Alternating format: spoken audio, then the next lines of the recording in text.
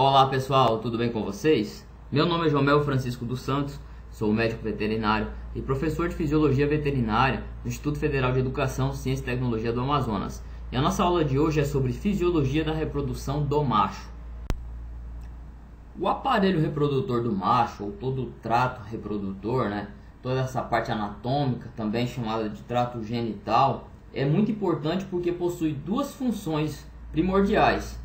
A primeira função é a produção hormonal, né? principalmente ela, é, essa questão do efeito macho que vem dessa produção de testosterona, então é o hormônio masculino aí que vai dar todo esse aspecto de, de masculinidade, de é, efeito macho, de libido, de aumento de massa muscular, enfim, para a fisiologia do indivíduo macho, né? Lembrando que também tem testosterona basal, nos níveis basais produzidos pela é, adrenal no, nos indivíduos fêmeas, né? Na, nas espécies animais fêmeas, mas também, além dessa produção hormonal, existe também a produção de gametas, ou seja, a produção dos espermatozoides, que aí é a função reprodutiva, né? Também está relacionada à, à produção hormonal, que é uma produção endócrina, ela também está relacionado com essa questão da função reprodutiva, juntamente com os espermatozoides, porque para o macho ele ser um bom reprodutor, né, para ele que ele consiga é, efetuar a sua função reprodutiva, ele precisa também é, estar fisiologicamente bem, tanto na sua produção hormonal, que é a produção de testosterona, quanto também a sua produção de gametas, que são os espermatozoides, os gametas masculinos. Então, como funções né, do que a gente vai trabalhar hoje, a gente vai entender sobre essa questão da produção hormonal e a produção de gametas, que são os espermatozoides. E então, pessoal, os componentes desse aparelho reprodutor do macho, ele é composto por testículo e escroto, pelo epidídimo, pelo cordão espermático, que é composto por vasos, nervos, ligamentos, ducto deferente, o músculo cremaster, pelas glândulas acessórias, ampulares, vesiculares, próstata e bulbo uretrais, o pênis e o prepúcio. Então, ao decorrer da nossa aula, a gente vai entendendo, né, por essas, é, esses componentes anatômicos, as suas funcionalidades e a sua importância para a reprodução do macho. Uma etapa muito importante é a descida dos testículos, pessoal, que ocorre quando a migração da gônada masculina do testículo ela sai do abdômen e vai para o escroto. E aí ela vai pelo gubernáculo testes, que guia a descida testicular pela passagem pelo anel inguinal profundo e superficial. Então aqui está a imagem do gubernáculo testes, gubernaculum testis, certo? É esse local onde está é, pois, pontilhados ali, é o local onde ele vai passar, tá certo, pessoal? Então esse gubernaculum teste nada mais é que uma estrutura mesenquimal, é um cordão fibromuscular que ele assume inicialmente um formato de prega ou fita e ele se estende desde o testículo junto ao mesonéfro tá certo? Atravessando os anéis inguinais na formação e indo até a região inguinal. Então é esse local ali é importante que passa, porque se não passar corretamente, se não tiver essa, essa descida dos testículos corretamente, o animal ele vai ficar com uma doença chamada criptorquidismo. Nós vamos falar daqui a pouco dela. E aí, para a gente saber se o animal ele é criptorquídico mesmo ou não, isso vai precisar de exame e a gente vai ver também a questão pelo tempo, porque tem diferenças no tempo da descida dos testículos, né? De acordo com a espécie, então, quando a gente vê nos ruminantes, como bovinos e ovinos, é metade da vida fetal, então em média em 3,5 a 4 meses de gestação, certo pessoal? É, nos, nos bovinos maiores, né?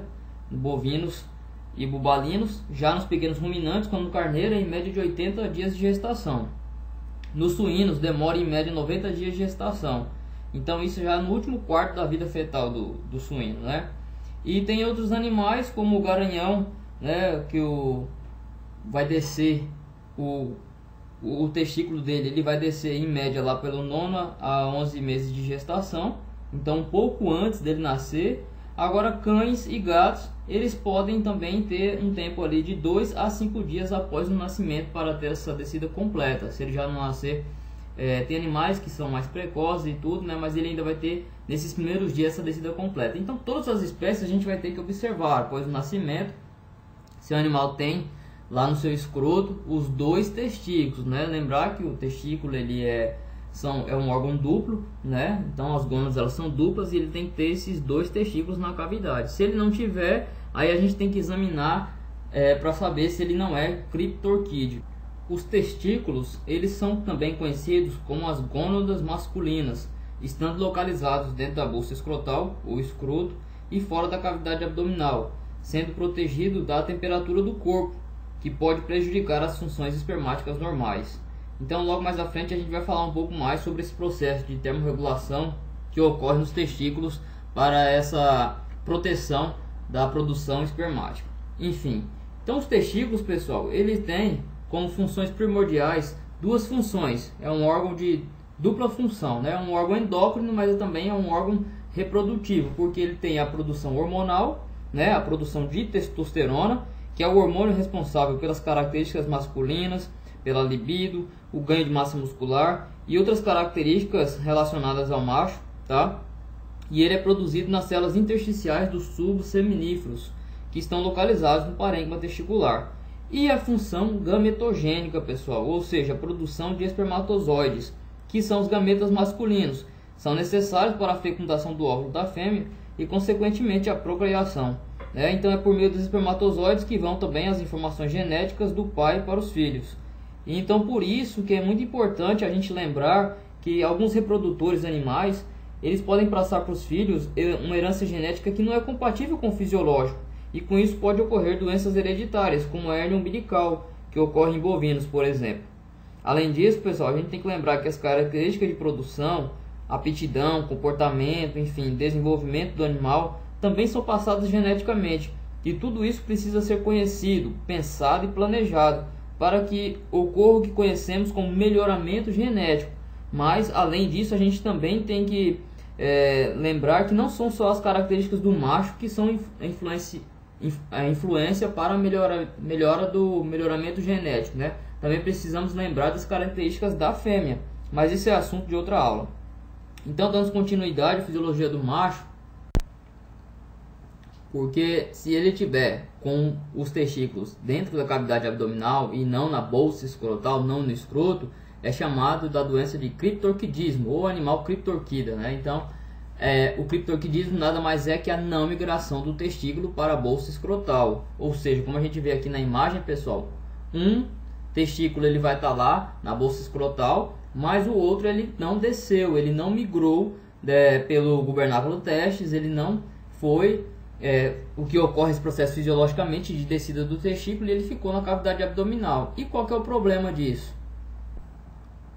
O problema é que quando o testículo fica dentro da cavidade abdominal, não vai ocorrer a termorregulação testicular, ou seja, né, que devido às características anatômicas dos testículos e do escroto, é, o fisiológico ele vai permitir a regulação da temperatura testicular quando ele está normal. Então, porque tem receptores, tem termorreceptores de pele escrotal, que ele vai saber, ah, de acordo com a diferença do ambiente, se ele precisa é, aumentar a temperatura para proteger o testículo ou ele precisa diminuir essa temperatura.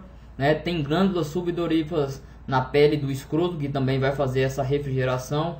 O músculo cremáceo e a túnica dardos vão ser estimulados por esses receptores da pele, então ele vai fazer ou o puxamento para mais perto da cavidade abdominal é, e a túnica dardos também, ela vai fazer o, o, puxamento, ela vai ajudar a tracionar o testículo para mais próximo da cavidade abdominal e fazer com que fique mais aquecido, né, se ele precisar. O plexo pampiniforme também é o local onde vai estar passando os vasos aí, tanto veias e artérias, para é, ajudar nessa termorregulação. Então, a gente tem que observar né, que ele tem que estar tá ali direitinho é, na, na bolsa escrotal, no escroto, os, os, dois testículos, porque se ele não tiver ali, como é que vai ocorrer essa termorregulação que é feita pela bolsa escrotal, que é feita com todas as estruturas relacionadas ao escroto, a musculatura ali, as túnicas, né, como a gente já falou aqui, músculo, músculo cremaster, ele é também conhecido como puxa-saco, porque ele puxa o, o escroto né, para próximo da cavidade, mas ele também relaxa e coloca para longe da cavidade quando precisa é, de diminuir a temperatura, quando está mais quente, tá certo? Então, para um funcionamento eficiente, né, para fisiológico, é importante que os testículos eles, eles estejam mantidos a uma temperatura mais baixa que a do corpo, senão ele não vai conseguir é, fazer a sua reprodução, ele não vai conseguir manter a gametogênese corretamente, nem a produção de testosterona também. Então, pessoal, sabendo de tudo isso da termorregulação, aqui temos umas imagens anatômicas mostrando como é vascularizado o testículo, né, toda a sua região envoltória também. Então aqui nós vemos como azul as veias e em vermelho as artérias. E aí como é que ocorre, né, além dessa questão do tracionamento pelo músculo cremaster, túnica dartos, para próximo da cavidade abdominal para aquecimento é, dessa região testicular, bem como também o afastamento para um maior, re, maior refrigeramento, né, resfriamento, enfim, para diminuição dessa temperatura. Além disso, né, com esse emaranhado de vasos que a gente chama também de plexo pampiniforme aqui no cordão espermático, aonde está passando ali é, os vasos, né, as veias, levando o sangue venoso, que é o sangue desoxigenado, é um sangue mais é, frio, né, um sangue com a temperatura menor, e o sangue arterial, que é o sangue rico em oxigênio, é um sangue mais quente. Então, por mecanismo contracorrente, vai ocorrer essa troca de calor, tá? Entre o sangue venoso resfriado, que ele vai estar tá subindo porque ele já está todo desoxigenado, ele tem que voltar para ser oxigenado, né? Tem que voltar até lá no coração. Lembra que a gente já falou em fisiologia do sistema cardiovascular, né? Então, o sangue venoso resfriado ele está voltando, ele vai subindo, e aí o sangue arterial é, que está na temperatura do corpo, está mais quente, ele está descendo. Aí, por esse mecanismo de contracorrente, um vai passando pelo outro e ele vai adequando, vai chegando numa normotermia, numa temperatura que fique fisiológica para não causar prejuízos ao parênquima testicular e não ter nenhum, nenhum prejuízo à gametogênese, ou seja, a produção dos espermatozoides. Então isso aqui é muito importante, né, quando tem-se alguns problemas na cavidade testicular, né, na, na cavidade testicular, não, desculpa, na cavidade escrotal, na bolsa escrotal, no escroto, quando tem, por exemplo, algumas inflamações é, no escroto, é, quando tem varicocele também, quando tem edema, quando tem excesso de líquido, enfim, algum processo inflamatório, infeccioso, alguma hidrocele, enfim, o que tiver ocorrendo ali de alterado, isso também vai alterar na vascularização desse órgão, né? E isso pode também alterar a questão da manutenção da temperatura e as suas funções normais. Então é muito importante que a gente saiba que isso está ocorrendo, que se o animal tiver um trauma, alguma coisa, tudo isso vai ser danificado. Tudo isso vai causar problemas, causando problemas locais, anatômicos, também vai causar problemas funcionais. E falando das funções do testículo, né, a gente vai falar aqui também da espermatogênese, que nada mais é do que a produção de espermatozoides nos túbulos seminíferos dos testículos, ou seja, a produção das células é, reprodutivas do macho. A espermatogênese, pessoal, é um processo em que células primordiais diploides, né, chamadas de espermatogônias, vão se dividir por mitose para manter seus números e depois por meiose para se tornarem haploides e amadurecerem até se tornarem aptas à fecundação. Então a espermatogênese é um processo, né, ele é se dividido em duas fases, espermatocitogênese, que consiste em uma série de divisões mitóticas e meióticas, pelas quais as espermatogônias originam as espermátides, e a espermiogênese, que é o processo de amadurecimento das espermátides, sem divisão para gerar o espermatozoide. Nesse esqueminha, nós conseguimos ver resumidamente como ocorre esse processo de espermatogênese. Né? Então, é a sequência desses eventos que a partir de uma célula germinativa percussora, uma espermatogônia, né? uma célula germinativa diploide 2N, tá?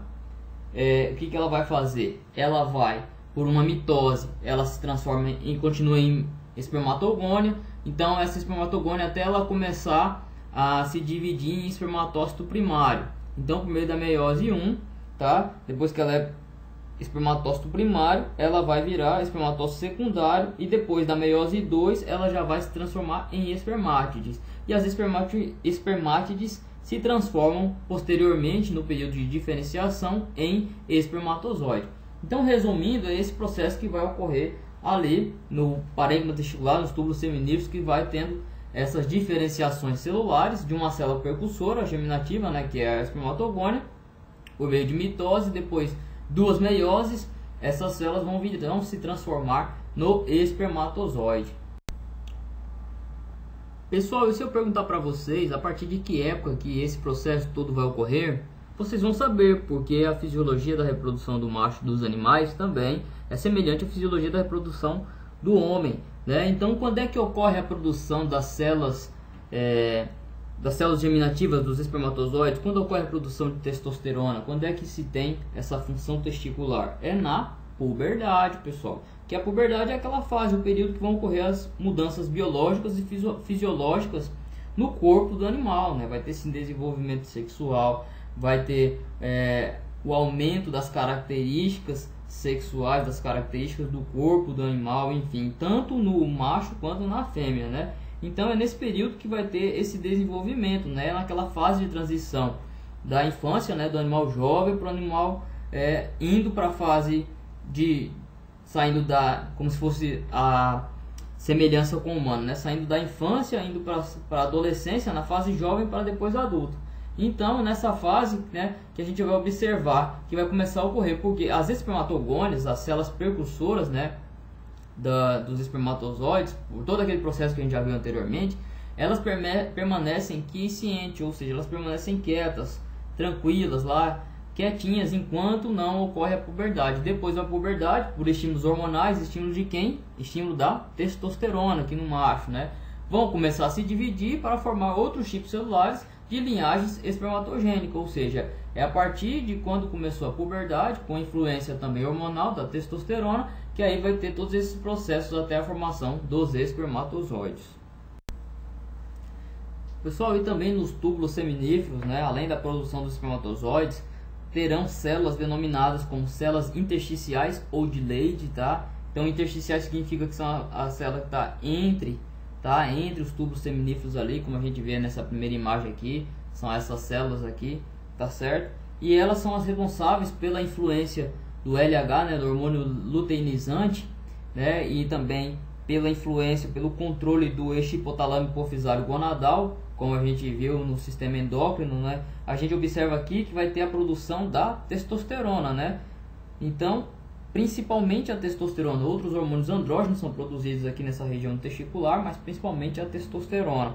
E essa testosterona é responsável pelas características do macho, como já falei, e também influencia na produção é, dos espermatozoides, na espermatogênese, tá certo, pessoal? Então, as células de Leydig, né, os células intersticiais vão estar aqui é, produzindo a testosterona influenciada pelo LH, pelo hormônio luteinizante, né, vindo do eixo hipotálamo hipofisário, mas também em associação vai estar junto aqui com a questão as células de Sertoli, né, ou células de sustentação, que são as células que vão dar a nutrição, vão alimentar, vão fortalecer essa região aqui para assegurar que esses espermatozoides que estão aqui, estão em formação, eles consigam se desenvolver corretamente, né?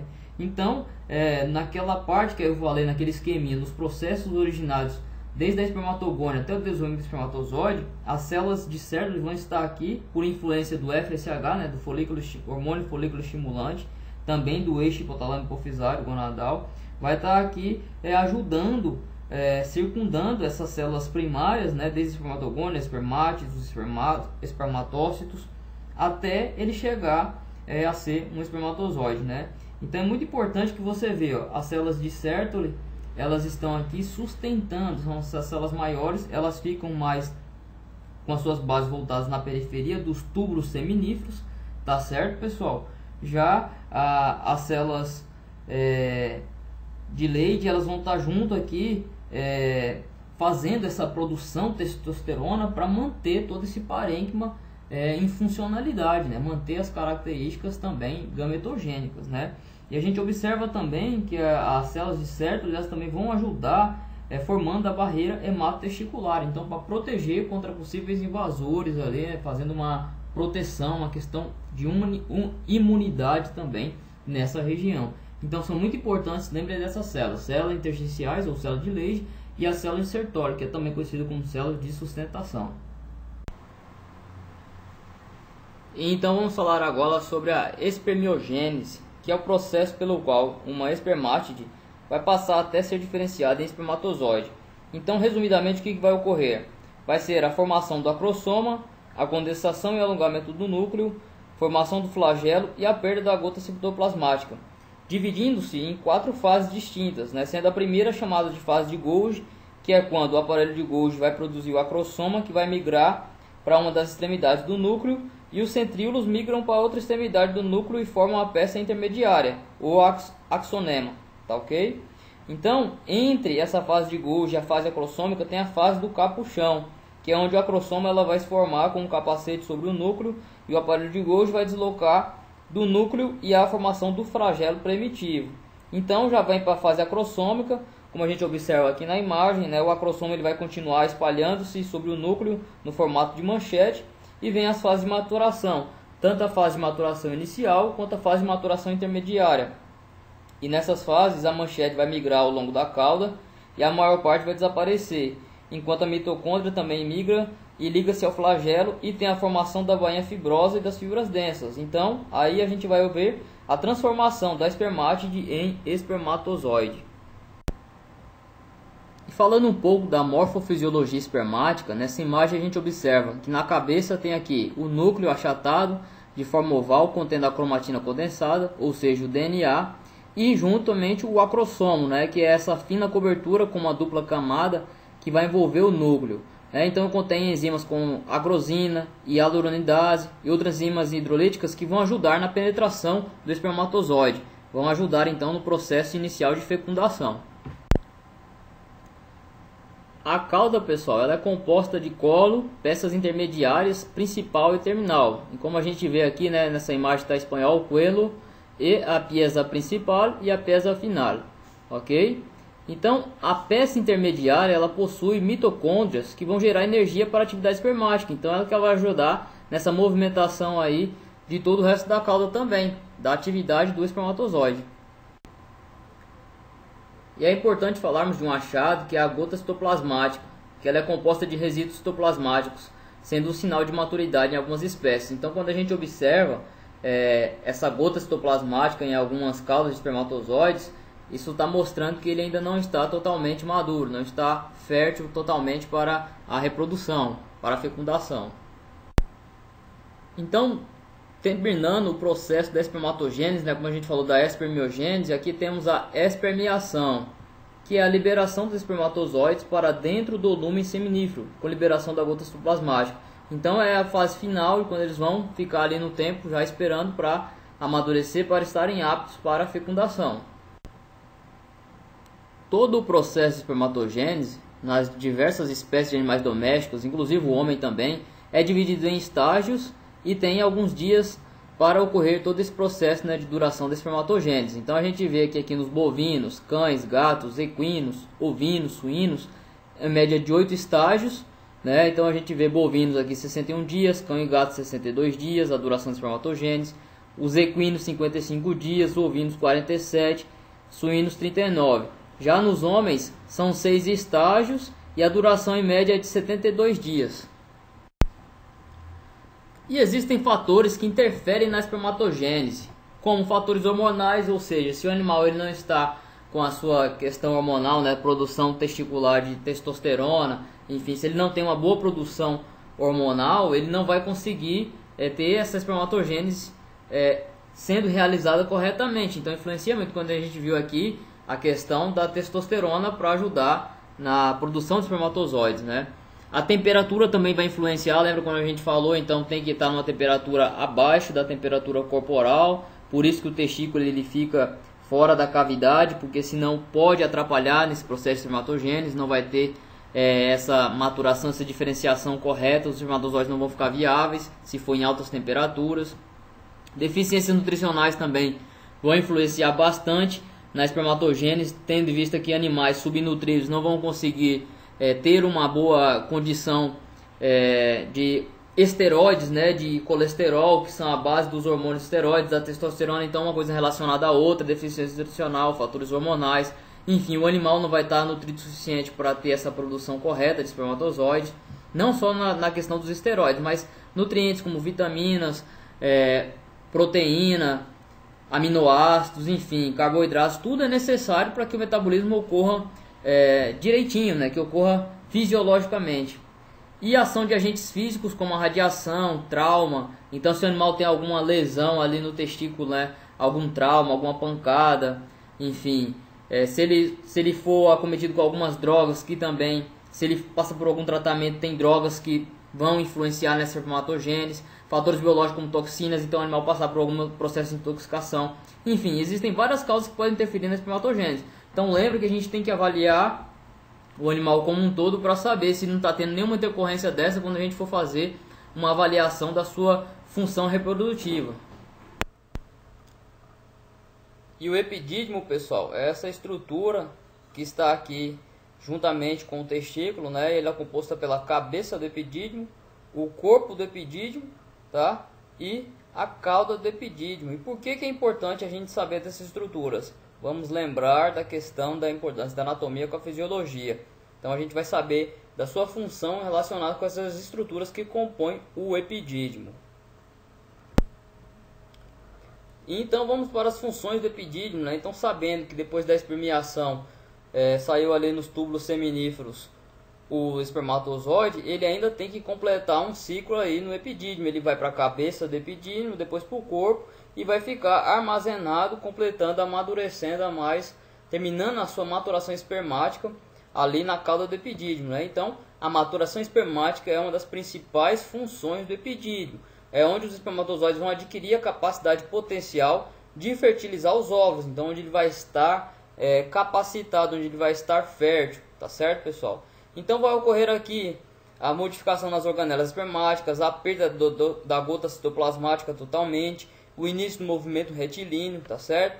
Então, 70% dos espermatozoides vão ficar armazenados na cauda do epidídimo. Então, é onde fica ali armazenada a maior parte desses espermatozoides. Para quando for necessário, quando o animal tiver relação, quando o animal for acasalar, tá certo? Quando ele precisar sair aí da cauda do epidídimo e ir por ducto deferente, até chegar em todo o trajeto da uretra, é, depois do uretra peniana, tá certo? Para sair e chegar a depósito na, no trato genital feminino e ocorrer a fecundação juntamente com o óvulo, tá certo, pessoal? Então essa outra função também, o transporte espermático saindo ali né, dos túbulos seminíferos, passando por todo epidídimo, indo para ducto deferente, a produção do fluido epididimário que é importante, essa produção para nutrição, para também ajudar na motilidade desse, desses espermatozoides, né? e também a absorção do fluido testicular. Então, o epidídimo ele também trabalha ali mantendo a homeostase desse ambiente testicular. Então, após a cauda do epidídimo, nós temos uma estrutura que é chamada de ducto deferente ou também canal deferente, tá certo, pessoal? É um tubo muscular que vai ligar a cauda do epidídimo à parte pélvica da uretra. Então, ele vai fazer esse transporte desse espermatozoide, como eu acabei de falar no slide anterior, vai fazer é, esse transporte na, no momento da ejaculação, quando o animal precisar para sua reprodução, tá certo? Existem também, em, na maioria dos animais, a ampola do ducto deferente ou canal deferente, exceto nos suínos. O cordão espermático também é uma estrutura muito importante no trato reprodutor masculino, que ele vai estar composto pelos vasos, né, tanto veias quanto artérias, os nervos, ligamentos, o ducto deferente, o músculo cremáceo, que vai fazer aquela parte da, do tracionamento ou também da é, afastamento do testículo, né? Então é muito importante que esse estrutura do cordão espermático tenha a função de envolver todas essas partes que estão irrigando, que estão inervando, que estão fazendo esse controle da, mus da musculatura testicular, né? tanto para sua termorregulação, quanto também para sua irrigação, inervação, enfim. É muito importante também a gente saber o que está envolvido aqui no cordão espermático. E no trato reprodutivo masculino existem as glândulas acessórias, tá certo, pessoal? Como eu já acabei de falar, ampola do ducto deferente ou do canal deferente, tá? Então, como eu diz aqui, a presença ou ausência dessas glândulas vão variar conforme a espécie, a gente vai ver mais à frente qual espécie que tem, que não tem, tá? A vesícula seminal, que antigamente chamada de glândulas vesiculares, a próstata e a glândula bulboretral. Então, essas são glândulas que são testosterona dependentes, então depende da influência hormonal, da quantidade de testosterona que o, que o animal tem, tá certo? Então também o período que ele esteja, se ele está em reprodução ou não, para elas estarem é, até hipertrofiadas algum tempo, se tiverem algum problema também isso pode ter interferência, né? Por isso que a gente até alguns animais em cães, por exemplo, com avançar da idade, eles podem ter o um problema na próstata, então é interessante até nesses animais que se eles não forem para reprodução, serem indicados à castração, tá certo? É, as glândulas bulboretrais elas produzem um gel que é importante para ajudar na lubrificação, extremidade do pênis, revestimento da uretra. Então esse é um gel que ele é uma substância mais alcalina que vai proteger o espermatozoide, tá? É um muco que ele acaba lubrificando todo esse trajeto do caminho espermatozoide e diminui a quantidade de espermatozoides danificados durante a ejaculação. Então ele melhora, com isso melhora a performance, melhora é, a efetividade reprodutiva, tá certo? E todas essas glândulas juntas elas vão fazer a produção do plasma seminal. E aí eu pergunto para vocês, pessoal, o que é plasma seminal e o que é sêmen? Tem diferença? É a mesma coisa? Então, plasma seminal é as secreções das glândulas acessórias. Então tem o pH mais alcalino, é a frutose, tem junto frutose, né, para dar energia para esses espermatozoides, junto com vitaminas, eletrólitos, também tem hormônios aqui, tem a questão de secreções é, de enzimas, enfim, prostaglandinas aqui juntos, tudo isso para favorecer tanto o trajeto dos espermatozoides, para melhorar todo o ambiente, até chegar na parte onde ele chegar no ambiente é, do trato genital feminino, para ajudar também na, na fecundação, tá certo, pessoal? E o sêmen é essas secreções das glândulas acessórias, ou seja, o plasma seminal, junto com o esperma, que são os espermatozoides de fato, tá certo? Então, quando a gente fala de sêmen, tá? É o plasma seminal mais o esperma. E só o plasma seminal são só as secreções das glândulas acessórias. Não esquecer isso, tá ok? Então, pessoal, nessa imagem a gente vê uma representação esquemática das glândulas reprodutivas acessórias, né? Então, a comparação entre as espécies domésticas comuns, uma vista dorsal das glândulas no trato reprodutor masculino. Então, a gente vê aqui na A a de um garanhão, né, de um equino, a na B a do touro representando os ruminantes, a do C a do varrão, que é o reprodutor suíno, e a D o cão, representando os pets, né? Mas aí depois eu vou falar uma particularidade dos pets. Então, quando a gente fala aqui das primeiras A e B, equinos e ruminantes, né, representada pela do garanhão e a do touro, a gente percebe que tem todas as glândulas acessórias. Então tem a próstata, tem a bulbo uretral, tem as vesiculares e tem as ampulares, né, a ampola do ducto deferente. Tá ok? Já na do suíno, ela não tem a ampola do ducto deferente, tá certo, pessoal? E quando a gente fala do cão, ele é o cão ele só tem a próstata e ela é bem proeminente. Olha o tamanhozão dela aí, né? Então, por ela ser mais proeminente, ela circunda toda a uretra pélvica e geralmente é quando ocorre um crescimento da próstata, isso mais em animais mais senis, por exemplo, ou algum distúrbio na próstata, alguma neoplasia, isso pode causar obstrução do fluxo urinário pela uretra.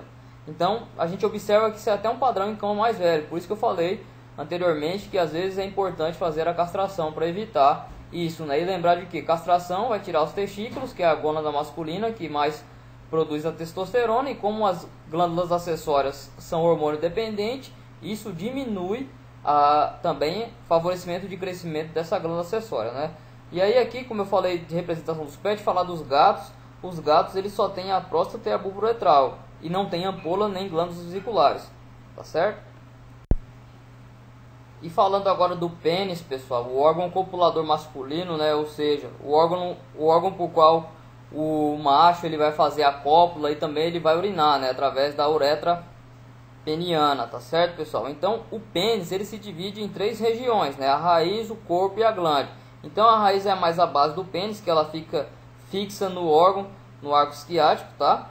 E o corpo é a parte maior do pênis, é o prolongamento maior. Já a glande é a extremidade distal, ou seja, a cabeça do pênis, onde se localiza o ósseo uretral externo, tá certo, pessoal? É por onde vai sair a urina e também vai sair o, o sêmen, né? Vai sair ali os espermatozoides, enfim. O pênis dos animais domésticos, ele pode ser classificado em dois tipos de acordo com o tipo de tecido que predomina na sua constituição, o corpo cavernoso e o corpo esponjoso. Então nessa representação aqui, nessa imagem primeira, a gente vê um pênis de um equídeo, né? E aí é o pênis chamado de músculo cavernoso. Então nos equinos, nos cães, nos gatos, nos primatas, é esse tipo de pênis, tá certo, pessoal? No pênis do tipo músculo cavernoso, existe o tecido cavernoso, que é também conhecido como tecido erétil. Então é onde vai ter uma coleção de sinusoides sanguíneos, onde você está vendo aqui nessa imagem, ó, você está vendo esses vários vasos sanguíneos separados por folhetos de tecido conjuntivo. E aí é, tanto nos carnívoros e no equino, eles possuem esse tipo de pênis e isso facilita na hora da ereção, essa, esse encharcamento de sangue, essa irrigação toda de sangue nesse local para que ocorra a ereção, tá ok? Agora tem a particularidade dos cães e dos gatos que eles possuem ainda o osso peniano, que aí mantém o pênis firme mesmo quando o tecido não está erétil, tá certo? E aí na cópula dele é importante também quando a gente vai ver mais para frente é, sobre a cópula desses animais. Mas aqui no caso do pênis do do equídeo, né? Então ele é mais ele é totalmente músculo cavernoso. Ele precisa dessa desse irrigamento todo de sangue para ele poder ficar ereto. Já o pênis fibroelástico é encontrado nos suínos e no ruminantes, ele também é chamado de flexura sigmoide, como você vê aqui na representação esquemática, esse é parecido com o S, né, também chamado de S peniano. E aí a gente vê nessa imagem de uma estrutura anatômica de um pênis de um bovino, como é que ele fica, né? Esse formato de S é chamado de flexura sigmoide. Então os pênis fibroelásticos eles não aumentam de tamanho nem de diâmetro. Ele é sempre desse mesmo tamanho e desse mesmo diâmetro, tá certo, pessoal?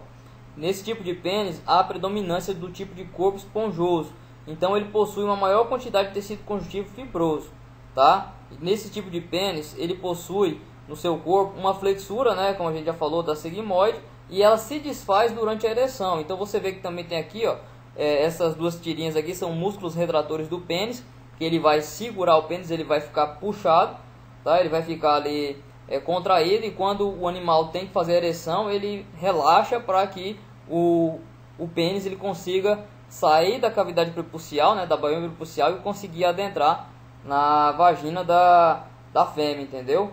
Então ele não aumenta de tamanho durante o ato, mas ele consegue sair e aí isso seria a ereção desses animais. Então esse é o tipo de pênis encontrado em ruminantes e suínos. E aqui tem uma representação esquemática das diferenças das glandes dos animais domésticos. Né? Então a gente vê aqui ó, do touro, então ela pode ser totalmente retilínea, como também pode ter um pouco espiralada, tá certo pessoal? Lembrando que é um, um pênis fibroelástico, então ele vai sempre se manter mais ereto, né? mais duro na verdade, mais rígido. Tá? O carneiro ele tem essa projeçãozinha maior que a gente chama aqui de processo uretral externo, tá certo? Isso aqui é importante porque as cervix das ovelhas elas são tortuosas, elas não são é, uniformes e aí ele precisa ejacular é, o quanto mais dentro da, do canal uterino ali, da, da região da cervix, na verdade o canal cervical, e ele precisa também é, adentrar dessa forma, então por isso que esse processo uretral ele é maior, mais comprido, tá certo, nos ovinos. No cachaço, então, é esse formato de fuso, de parafuso, é como a gente fala até, né? é, o, quando o cachaço ele, ele tem esse, é, essa glande meio que rosqueável na vagina da, da porca, tá certo? E no garanhão é essa glande maior, né? Devido ao pênis dele ser músculo cavernoso.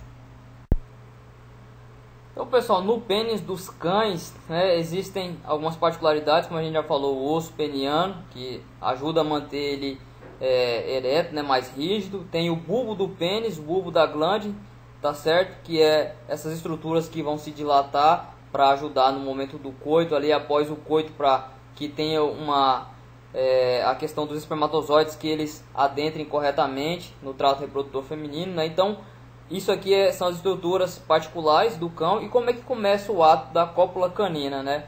Então, o ato sexual ele vai iniciar com o pênis ainda flácido, tá certo?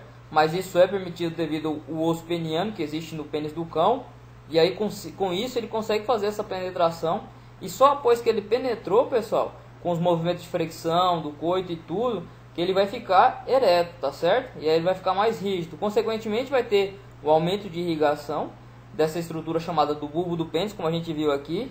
E isso aqui vai fazer, né, com que ele fique ali co conectado junto com o trato reprodutor da fêmea, tá certo? Então ele vai se encher de sangue, vai se inchar e juntamente com a região, né, que já está ali, ele vai ficar, vai fazer esse movimento de rotação, tá? Ele já vai estar tá ali ejaculando na fêmea. E aí nesse período que ele está ali, ele fica um período preso, né? E aí é o estágio do coito que já está terminando ali, está ejaculando. E por que que acontece isso? Isso é fisiológico, é para manutenção da, da, da ejaculação, que ela fique realmente, que ela consiga é, adentrar o máximo possível, consiga recuperar o máximo possível de espermatozoides ali. Porque o cão, ele ejacula gotejando. E como forma de proteger, tá certo? Isso ocorre para não ter perda de sêmen. E aí a cópula dos cães vai ocorrer dessa maneira, para ter uma segurança maior em fecundar a fêmea. E quando vemos um casal de gatos cruzando, né, a gente vê aquela gritaria e tudo. Será que isso é fisiológico? Isso é normal? Sim, pessoal, isso é normal porque isso faz parte do ato sexual dos felinos, principalmente os gatos, para que ocorra a fecundação correta, né? para que ocorra a ovulação, a indução da ovulação da gata, né? Então, quando o macho ele começa a cruzar com a fêmea ali, ele começa a morder ela para estimular essa secreção neuroendócrina, tá, dos óvulos, né? Vai ter ali a, o aumento da secreção de LH, isso vai fazer a ovulação da gata, tá certo, pessoal? E aí eles vão ficar né, cruzando ali. Além disso, tem essas espículas no pênis do cão e do gato, que isso faz com que aumente mais a ovulação. É, um, é uma dor que vai agir é, aumentando a ovulação das gatas, tá certo? Então não é para machucá-la nem fazer sangrá-la. Isso é mito, tá certo, pessoal? Mas é para essa estimulação neuroendócrina, desencadear uma descarga importante desse hormônio para reprodução, que é o hormônio luteinizante, ou LH, tá certo? Então, desde que liberado em uma concentração adequada, ele vai agir por cerca de 24 a 36 horas, né, após uma cópula efetiva, e aí com a penetração completa, né, que vai ter traduzida por aquela, aquela aquele acasalamento dos gatos que a gente já conhece, né, aquele acasalamento selvagem com gritos, com briga, né, bater, bufar, eles vão se lamber, da fêmea após cópula, enfim. Tudo isso aqui é o fisiológico na cruza deles, relacionado ao trato reprodutivo do macho e também para que ocorra essa estimulação fisiológica hormonal importante para a fertilização dela, tá certo? Então, para que se tenha essa liberação adequada de LH, os gatos eles também vão estar sempre cruzando, é, fazendo várias cópulas em curtos intervalos de tempo. Então, quando ela está no cio, você vê ela cruzando várias vezes, tá certo? Até realmente passar o período que ela estava ali no estro e ela ser fecundada. E o prepúcio, pessoal, é essa prega cutânea que tem como função recobrir a glande do pênis, né? Para proteger a glande do pênis, tá certo, pessoal? Então ela é uma droga invaginada de pele, vai circundar essa extremidade livre do pênis, onde está ali a glande, né? A parte mais distal, né? E a gente lembra que os equídeos, eles têm um, um prepúcio duplo, tá? Então tem que ter muito cuidado com esse prepúcio, porque ele pode ter inflamações. Então, inflamação ali da glande, né? É chamada de balanite, né? Inflamação do prepúcio, postite. E a inflamação do prepúcio e da glande é chamado de balano postite. Por isso que assim, tudo tem sua função, tudo é importante a gente entender por que está ali, o que, que ocorre, qual a funcionalidade e o que pode ocorrer se ela não tiver fisiológica, né? se tiver algum problema, se tiver alguma inflamação, ou seja, alguma, alguma doença. Bom pessoal, essa foi a nossa aula sobre fisiologia da reprodução do macho. Espero que vocês tenham atendido, tá? Qualquer dúvida podem falar comigo. E continue assistindo às aulas e continue também estudando pela literatura recomendada. Encontro vocês em outro assunto. Até a próxima aula, pessoal.